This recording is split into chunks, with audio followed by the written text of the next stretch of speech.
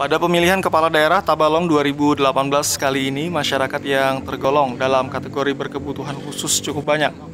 Terbukti dari hasil daftar pemilih tetap terdata sebanyak 373 pemilih difabel dari total 163.072 daftar pemilih tetap se-Kabupaten Tabalong.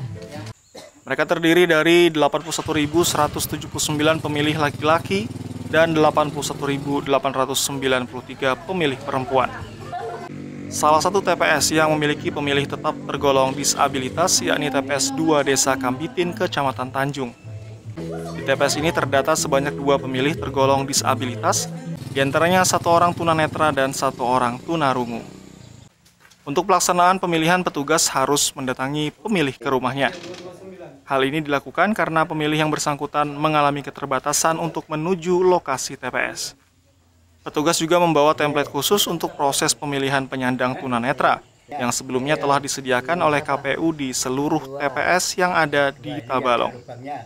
Yo, yang difabilitas, kita dari pihak KPPS mendatangi dibantu dengan saksi dan uh, linmas-linmasnya. Karena dia termasuk disabilitas, kita utamakan untuk mendatangi supaya memudahkan beliau-beliau untuk mengikuti partisipasi sebagai anggota dan masyarakat desa.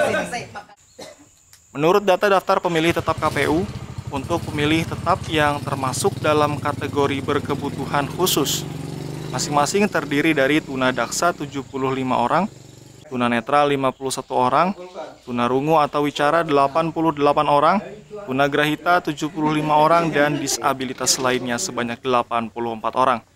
Rahmadi TV Tabalong melaporkan.